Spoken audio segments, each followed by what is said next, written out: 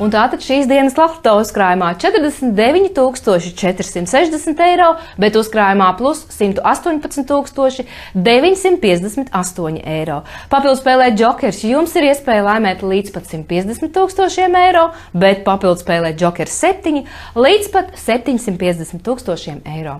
Lai izlozes noritētu korekti, pie mums studijā ir pārstāvi no Latvijas Loto un ekonomikas policijas.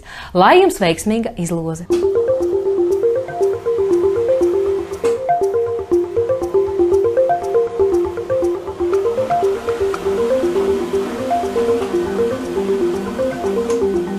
Latvijas izlozes pirmais skaitlis ir 11, otrais izlozētais - 7.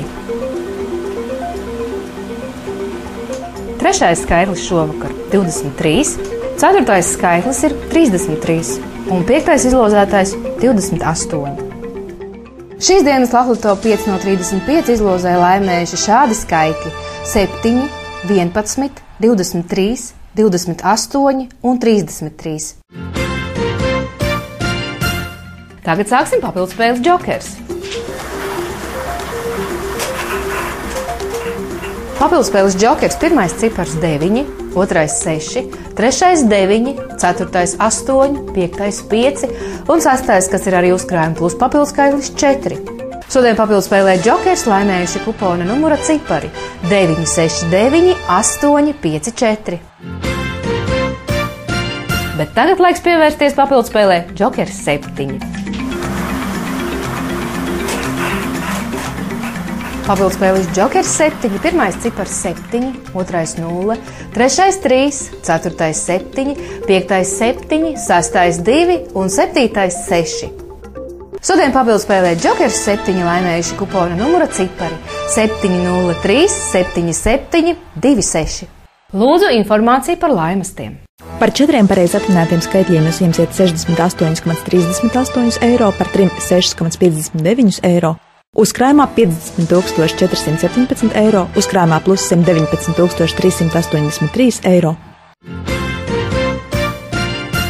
Lai piedalītos ikmēneša sprinta papildu izlozē, kur ir iespēja laimēt 500 eiro, jums ir jāiesūta mums uz Meistarīla 19 Rīgā vai jāreģistrē reģistrēto kuponu un biļešu arhīvā komplekts, kas sastāv no desmit nelaimējušām momentu loterijas sprints biļetēm ar desmit dažādiem biļešu attēliem. Un tātad šovakar mums ir iesūtīti 989 biļešu komplekti. Izlozēšu vienu komplektu, kura īpašnieks vai īpašniece laimēs 500 eiro. Ķeramies klāt izlozē!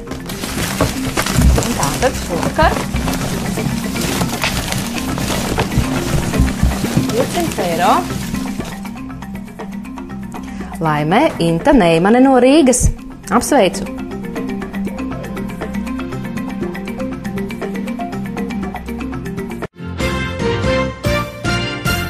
Un kā jau katru nedēļu izlozes noslēgumā Džokera laimes turata izloze, kur iespējams laimēt no 200 līdz pat 8000 eiro.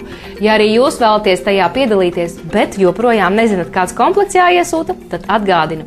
Tā ir skaitļu izložu kvīts pēc jūsu izvēles, vai tas būtu Laklato, Keno, Vikingloto vai Eirojackpot ar atzīmi par dalību papildspēlē Jokers. Kopējā kvīts vērtība ar Jokeri ne mazāka kā 3 eiro, un kvītī ir jābūt iegādātāji ne agrāk kā šī gada gada martā. Un nelaimēšā momentu loterijām vienu laša, vienu sapņa, vienu bagātību salas un vienu kurš kuru biļeti. Šonadēļ mums ir iesūtīti 781 biļešu komplekts. Lozēju vienu, kuram tad arī griezīsim ratu. Tātad. Ir laimes ratu. Šovakar griezīsim Rolandam Bērziņam.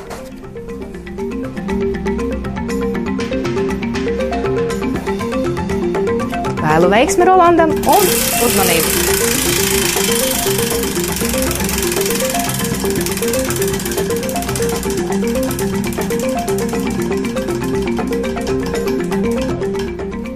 Rolanda Bērziņa laimes ir 200 eiro.